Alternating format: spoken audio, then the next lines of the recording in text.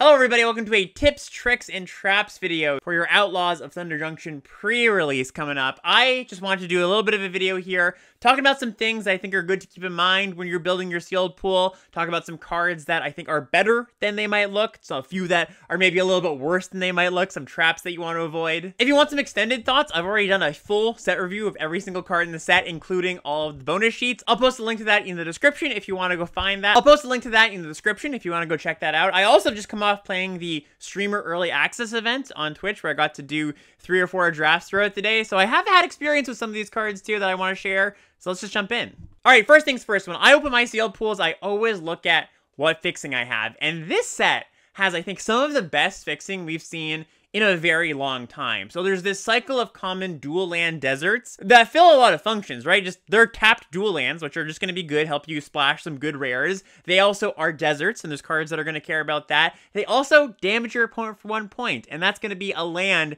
that helps you commit a crime, and that's been very valuable. I found the kind of the quote unquote free committing a crime trigger playing these lands is very good. Feels really nice when you can line things up. Also, something to note when you play these lands, don't always play them on turn one, right? Sometimes you're gonna look at your hand, you have like two cards that commit a crime, you've got both your colors, and you're, you're like, oh, okay, well, I'm just gonna play this tap land on turn four, trigger my two commit a crime things. I don't have a four drop in my hand, so it's not gonna disrupt my mana. So don't just auto slam that tap land on turn one. That's something I kind of had to break myself out of as I was playing yesterday. That's all the fixing we have though. There is a cycle of rare dual lands that are pretty good. There's also a few lands at common like Conduit Pylons and Mirage Mesa that help you fix your mana or Bucolic Ranch if you happen to be playing a deck with a lot of mounts in it.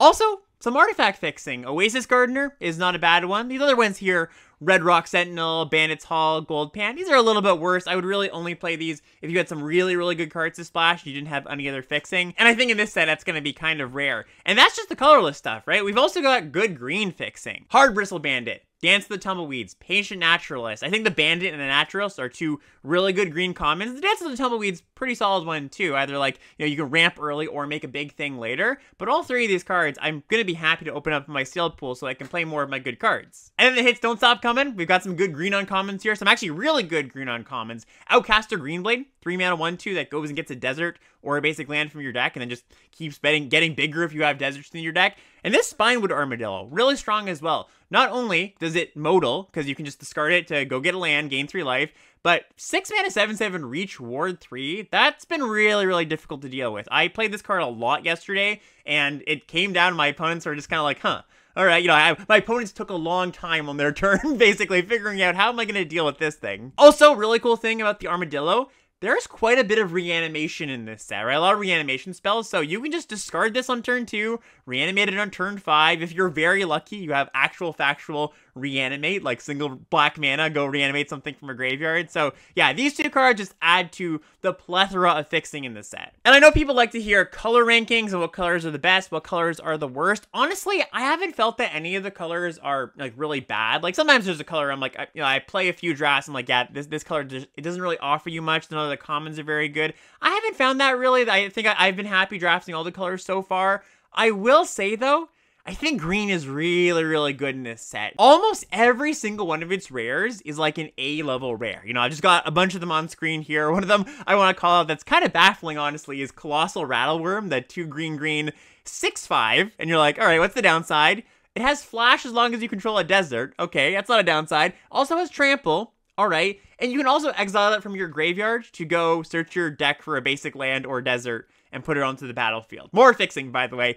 Card's absurd, but so is basically every card on the screen here. There's also a bunch of great green rares on the various bonus sheets on the set. We just talked about a few good green commons and a few good green and uncommons a second ago, and there's a lot more where those came from, basically. Like, those are, that is not the end of the good green commons and uncommons. I would just, you know, suggest going through the list uh, of the cards in the set and just going, yeah, that green common, is that a good one? You're probably going to say yes for most of them. So yeah, basically, uh, I hope you open green cards. Not just because they're all very good, but because they'll help you play more of your other good cards of other colors. All right, now I want to call out some cards that I think are a little bit better than they might look, and also a few cards that performed pretty well for me yesterday. First one here, Hollow Marauder is a 7 mana 4-2 flyer that costs one less for each creature card in your graveyard. And there's ways to fill up your graveyard in the set, especially in black green, like, you know, black green tends to do. So I think you're going to be able to cast this on turn 5 in a lot of your games, either through self-mill or through just creatures trading off. And when it ETBs, your opponent discards a card, and if they don't discard something mana value 4 or greater, you draw a card. So just a really good effect, and you know, there's good recursion in this set too, so just doing it a few times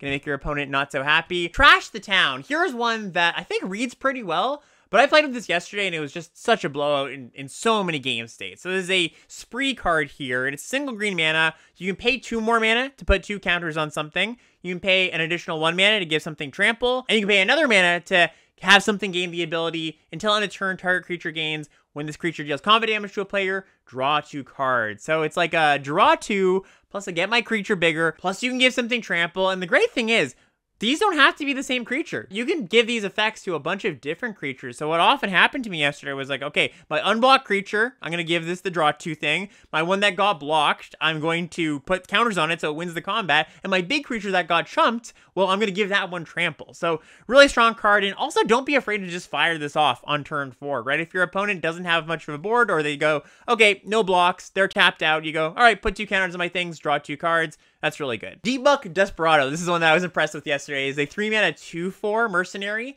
Then whenever you commit a crime, each opponent mills three cards. Only triggers once per turn, I think, thankfully. And uh, yeah, I think this card was pretty real. If you have a defensive deck, especially in sealed, when the games do go a little bit longer, and hopefully maybe you have a way to recur this, so if it dies, you can keep doing its thing. And three does add up turn after turn, right? It's also just a fine defensive body. So yeah, this is not a card that I would shy away from playing in a slower deck. Demonic Ruckus. So auras kind of range from being sometimes really, really good and sometimes not so good. I think this one's on the really, really good side of things. So you can plot it for a single mana, so just on turn one, right?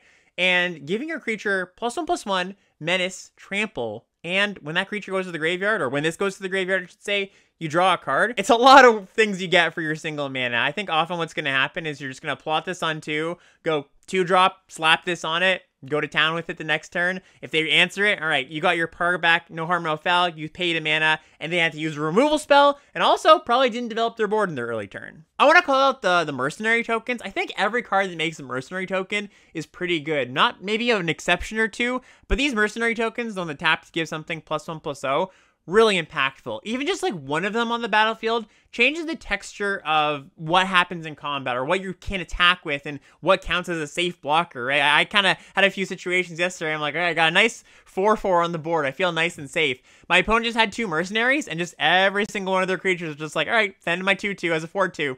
You're going to block it? All right. You trade with my 2-2? Sure. But eventually, they're just going to start to really out attrition you, right? All their small stuff's going to trade with your big stuff. Don't overlook these mercenaries. I, I think that if they read well to you, they are even a little bit better than that. Two rares on the crime committing bonus sheet I want to point out. Pest Infestation. So this is a Vintage Cube All-Star. Kind of a strange card. XX green green.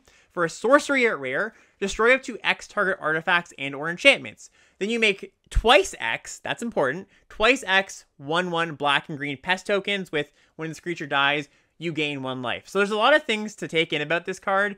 Number one is just like what you're actually getting. So you pay three mana to get two pests, five mana to get four pests, and then it just obviously scales from there. Five mana to get four 1 1 tokens that die and gain you a life. That's just a good deal. And you don't need to target something. It says up to X target artifacts or enchantments. So you can just cast this card whenever you'd like. But there are a lot of artifacts and enchantments running around in this set, so it's going to be a huge blowout a pretty large percentage of the time where you go kill your enchantment that had exiled my creature, or your artifact creature, or maybe both, and I just get a bunch of tokens. Yeah, this, this card is really strong and, you know, eminently splashable too. Overwhelming Forces. Very powerful card, but very expensive. Is a 6 black black sorcery. Destroy all creatures target opponent controls. Draw a card for each creature destroyed this way. I played this one yesterday. I had like a black green kind of grindy slow deck. Getting to 8 mana was not that difficult. I had some ways to ramp additional mana sources, some of those green commons and uncommons that we looked at a few minutes ago.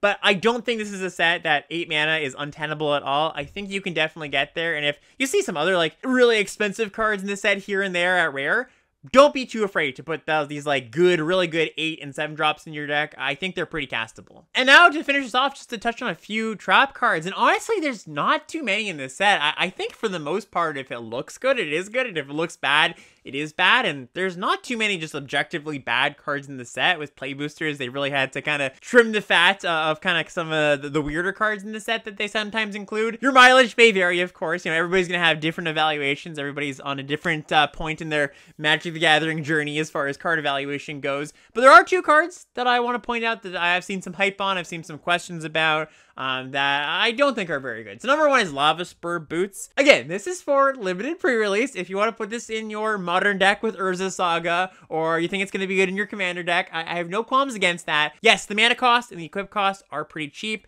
but you're spending a full card for really not that much of effect. Plus one, okay, haste, that's probably the most important thing. Ward one, okay, that's that's kind of nice too, but it's just not a card that I would be excited to play, even like in, in a very aggressive deck maybe as a 23rd playable if you really, really were scraping for playables and you're like, I got the sickest aggro deck and I just need that, you know, one 23rd playable. I think you're just going to have better cards in your pool, so you don't have to go to this one. And then one card from the bonus list here, Anguished Unmaking. This is one black, white for an instant, and it's kind of funny. They actually upshifted this to Mythic. and it says exile target non-land permanent you lose three life. Now, this isn't a trap in the way that you should never play this card. It's a bad card, but it's also not a, a gigantic pull into black-white. I don't really think you should splash this unless you just don't have any other removal at all. Three life's a lot. This is a card that sees, you know, a reasonable amount of playing Commander. Some people are familiar with it, but unlimited three life is a lot. You know, we're taught as uh, as Magic players early on that you know life loss is not that bad and life gain, you know, it's not that good